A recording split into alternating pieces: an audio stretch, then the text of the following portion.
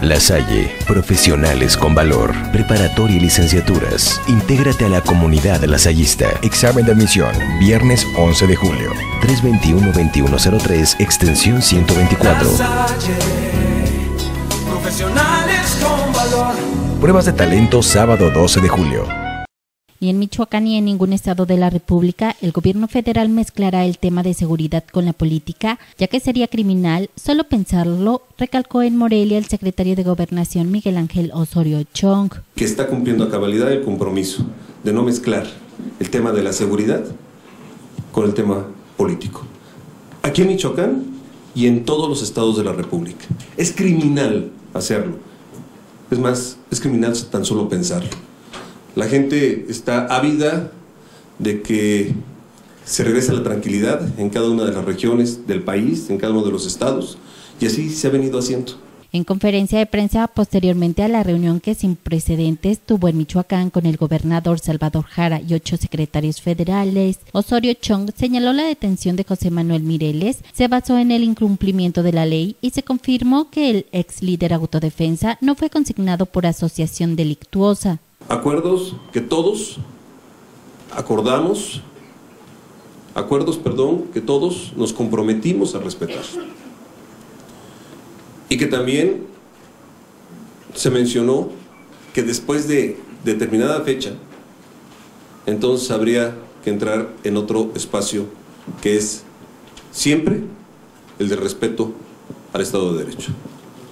Y es ahí entonces cuando quien lo violó hoy tiene una responsabilidad legal y está, por supuesto, inmerso en, el mismo proceso. El señor Mireles no fue consignado por el tema de asociación delictuosa, sino por la aportación y el término constitucional vence a las 23.45 horas del 5 de julio. Entonces, yo diría que son causas, en este caso, distintas y en ese sentido hay una confusión por lo que tendría que ver en lo que usted menciona.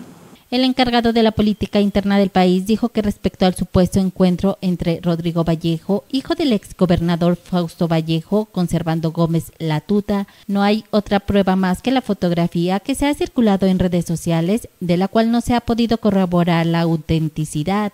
En el caso del hijo del ex gobernador, lo único que tenemos es esa fotografía que todavía no tenemos claridad si tiene o no validez.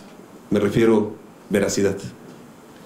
Y no tenemos ninguna otra prueba y por supuesto que si la hay la vamos a investigar.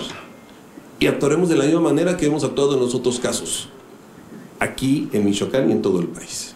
El secretario de Gobernación recalcó también que se continúa trabajando para lograr la captura de Servando Gómez Latuta, al igual que otros presuntos criminales. Cuando usted me pregunta de esta, eh, de esta persona, de este presunto delincuente, lo que le decimos es que estamos trabajando como lo hicimos en la detención de muchos otros más que habían lastimado a la sociedad de este gran estado. Y seguiremos adelante con nuestras investigaciones.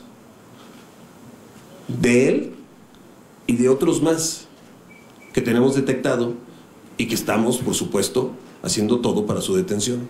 Miguel Ángel Osorio Chong recalcó que las manifestaciones que se alzan en el Estado para solicitar la excarcelación de Mireles serán respetadas siempre y cuando se conduzcan en el marco de la legalidad, sin trastocar intereses de terceros. Con información de Sandra Sáenz, informa Cuasar TV.